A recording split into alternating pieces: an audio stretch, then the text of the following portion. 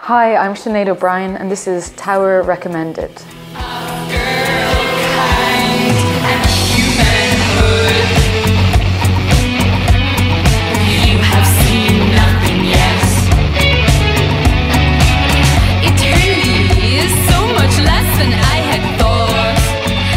So this uh, record I haven't actually listened to yet, but I'm really excited to because I recently got recommended um, this artist Ghostface Killah, who we know from Wu Tang Clan, um, by Blindboy actually on his podcast. And I list, I jumped into album two, I think it was called Supreme Clientele, and it's full of like samples and guest vocals and I came across a couple of tracks I thought were really really interesting like they were kind of intermission pieces. Um, Iron's theme was one of them and um, really really great.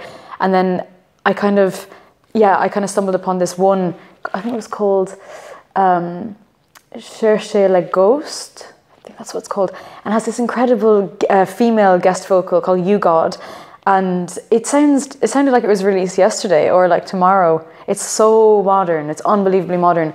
Um, yeah and i just kind of thought okay this is something i'm really interested in and um, yeah so i picked up this which the reason i picked it up is firstly because it's a, a collaboration and in this kind of music as we know there's like always a lot of guest vocalists and kind of yeah collab so it's Czarface and meets Ghostface Killah, um, and there's just like a list of around 20 people on the back so yeah, and the, the, titles are really great on this as well. I like um, Face Off, Iron Claw. I think Iron runs through all of Ghostface stuff, so I'm quite interested to hear what that sounds like. And Mongolian Beef, and The King Heard Voices, and Listen to the Color. They're just great titles, and the comic theme, which runs through, maybe also relates to the different kind of um, filmic scenes within the songs. Um, but who knows, because I haven't listened yet. Uh, yeah, that's going to be a treat yeah. Yo, we criminals on a night shift. Get the Billy Club or the nightstick. Stone, I get right with. My murder game down to a tight knit. Reputation's the story is polished, no laces in my. So, Nilüfer Yanya. This is an artist I am quite familiar, who I'm quite familiar with because she's based in London, and uh, her manager also works on a, ch- a, chess club. So, yeah, I've been listening to Nilüfer for quite a while now. But this album for me is just like, yeah, well, it's her pinnacle so far. It's incredibly modern, fresh. It's really clean. I love the production on this. I don't usually like productions so clean, but her voice and her delivery is so like sincere and genuine, and it almost doesn't care nonchalant, but it's incredibly cool. It's uh, throwaway at times, but like it's really hooky. I think this is a modern classic album. I don't think I've ever said that before.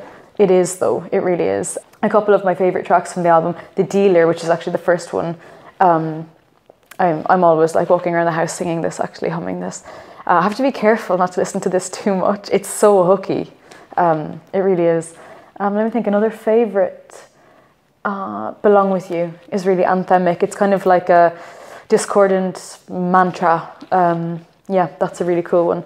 So anybody who hasn't listened to Nilüfer, really, really listen to this. It's it's a piece of piece of work.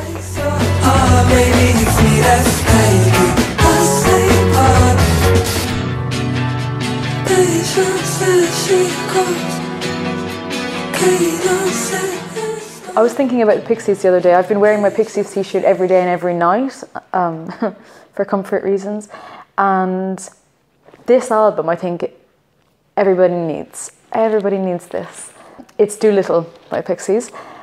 I first came across them when I was 13. Uh, me and my best friend Aoife, we bonded over them at school. And I remember sitting in front of um, the TV, like watching MTV, waiting for their songs to come on so I could transcribe the lyrics. And yeah, God help me because like I didn't get very far with this, and also it didn't make any sense. It's not the kind of thing you need to read as a story. It's almost like um, dream structure, the way it's written.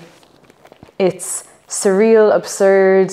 Uh, it's really dark, actually. This this album lyrically, but then how how does it? It sounds it sounds like bright blue and it sounds soothing and it has some surf in there.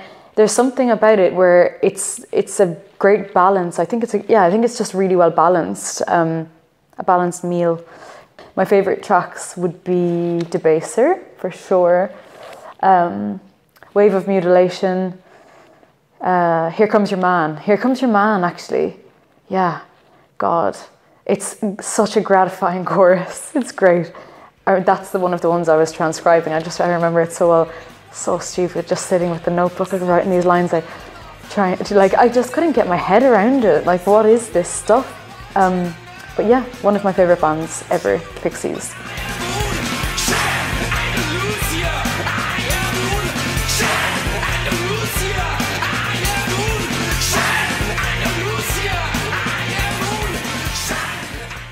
I have two more records. I have.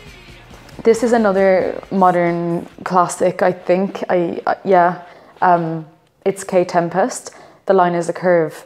Um, Dan sent this to me. Dan Carey, who produced it, who's also my producer, he sent this to me uh, probably off the back end of when we were recording, um, just as it was ready.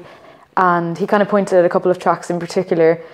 Um, and yeah, it's it's an unbelievable piece of work. It's like it's also taking Kae's work to a new uh, context. There's new textures in there. It's it's dark and it's hopeful, but more than anything, it's uh, it's the strength of her poems. Like I mean, I don't. There's nobody like this. There's nobody like this. Um, Salt, um, Salt Coast. Sorry, Salt is my song. Salt Coast. Uh, I was exchanging the words for the back of my own record. I don't know how that can happen. Um, Salt Coast is, is a really great track, and then More Pressure as well um, has quite a good groove. Uh, yeah. Also, I feel like Kae's hooks come around like in like mantras too. Um, they reinforce, and actually, these two songs. If I take these two, for example, More uh, More Pressure and Salt Coast they kind of have similarities, but almost like talk to one another on the record. And these are the kind of things that I love in records, where the songs relate to one another, but can also exist as singles. Um, yeah, do you know what? Actually, it's like a giant poem, and these are verses within an epic poem. That's kind of what I mean about this. Um, what an incredible example of poetry. Um, yeah, I love this you, let it surprise you. I was in a party, face mostly eyeballs, chin deep in a bag of white lies, saying I'm sick and tired of my own advice. I see it now, so perfect, but so hard to put into practice. One step forwards, two steps backwards. And finally, this is the new Just Mustard record. Um, yeah, I really like Just Mustard. I always have. Um, I think here is where they really nailed their sound. Like the sounds chosen for this album are incredible. Um, all of the instrumentation, it's it sounds like it's the underbelly of the earth working. It's it's very I don't know if industrial is the right word when it comes to music or genre, but like industrial sounds. Um, and I think on this track, Seed, which is my favorite, it's I think they've pushed it to the limits of what's possible. Like the it's it's the most industrial, most hard, it's almost grotesque, it's heavy, it's deep, it's full of air, and then the vocal goes to this really shrill place that's almost almost impossible. And then yeah it, it just does.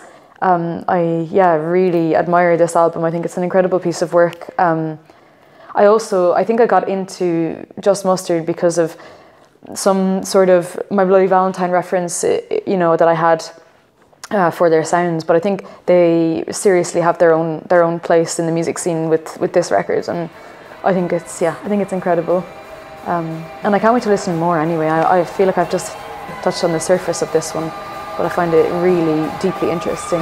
Yeah.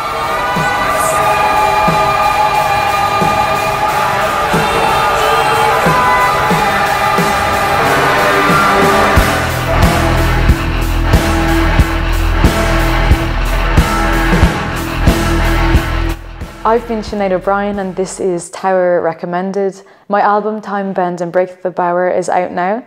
Uh, come and grab one from Tower Records in Dublin.